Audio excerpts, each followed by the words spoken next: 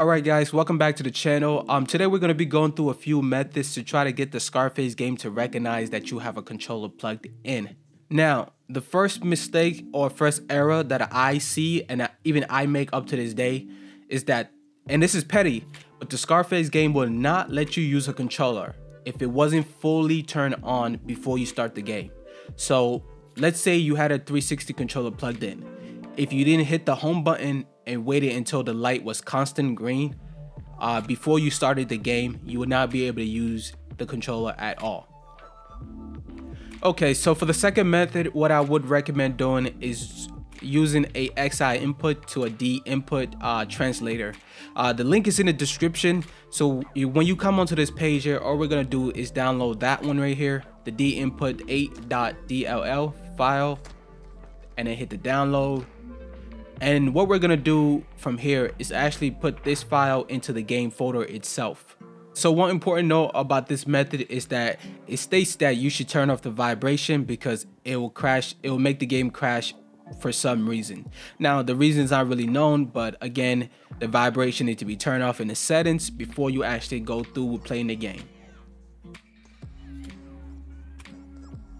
Okay, so once you have that file in there, with the in the game directory now what you want to do is just go ahead and start the game and see if that method will work for you. Okay guys so another method that you could use is definitely um this one i think it's a good one. It's called JoyToKey. What that does is turn any button you press on the keyboard into a button you press on the controller itself.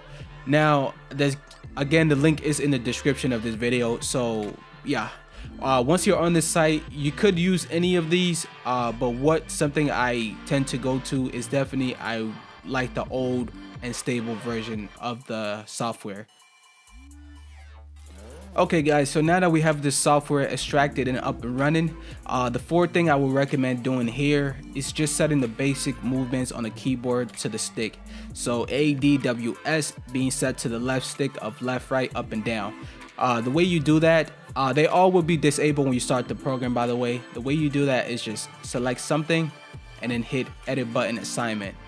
And then come up here and push any key on the keyboard. Uh, once you have that four movements set though, the next thing I would recommend doing is go to preferences, associate profile with application. Now I already have it up here, but I'm gonna show you how I did that. Uh, we're gonna hit edit and then we're gonna go to uh, name the profile I mean name the application name and here we're gonna do scarface.exe or if that's giving you trouble and it's not working what you want to do is capture the scarface thing so it'll give you three seconds to to uh, target the software itself. Like click on the software after you hit this button. Uh, once that's all set we're gonna choose profile one and then hit ok and ok.